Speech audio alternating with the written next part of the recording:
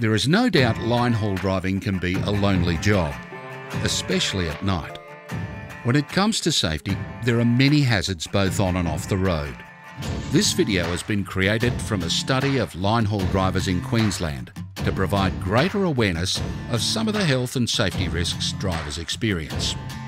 What makes line haul driving difficult in the general freight industry is the only thing routine about the job is the route itself.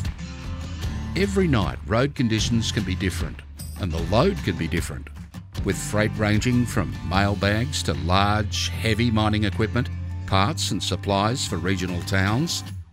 For drivers getting to their next destination, uploading, reloading, and restraining loads back up within timeframes keep them on the run. In the study, drivers reported there are many health and safety hazards that they need to manage on a nightly basis to stay safe. Some regional and remote locations have smaller depots and restricted space, which might require parking in loading bays close to walls or boundary fences with access only to the driver's side of the trailer. Workplace conditions at depots may also expose drivers to hazards such as poor lighting and uneven surfaces. Lone work during the night is experienced at some remote locations.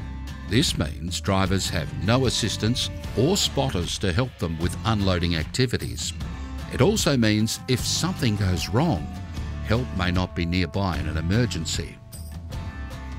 A unique activity also performed by line haul driving is uplifting.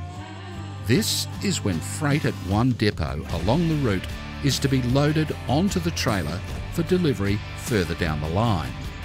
Uplifting is one of those jobs that's different all the time. As the freight size and weight is unpredictable, if things don't go to plan when doing an uplift, it can cause delays for the driver and issues down the road. Unfortunately, in 2017, a driver was conducting an uplift by holding the restraining straps in his hand while loading freight underneath the straps.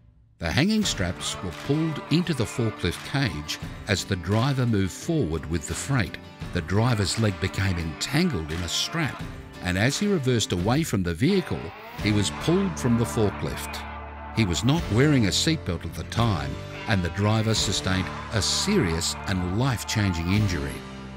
Versions of this practice are quite common in the industry, with workers seemingly unaware of the risk of entanglement.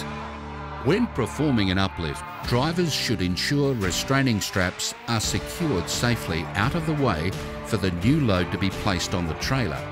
This is especially important when restraining straps are hanging over freight on a mezzanine floor. If restraining straps are left in situ during unload and reload situations, the risk of entanglement is high. Followmont Transport are working on a pilot project to engineer this risk out of their business. The strap guide has been designed to accommodate restraining straps as trailer gates are moved clear of the section for unload. This, combined with the use of the trucker's trident, has proven an effective method for eliminating the risk of entanglement when unloading and reloading. Once the new load is in place, the driver is able to replace the gate into position and in doing so, the restraining strap is pulled back over the freight ready for restraining. Followmont believe this new approach has the potential to improve safety in the industry. They are currently undertaking a trial of the equipment on a Western line haul run to gather feedback from the drivers who face the challenges of uplifts on a regular basis. This video has been produced by Followmont Transport through an enforceable undertaking in which they have committed to developing and implementing tangible and sustainable improvements to health and safety in their workplaces and the transport industry.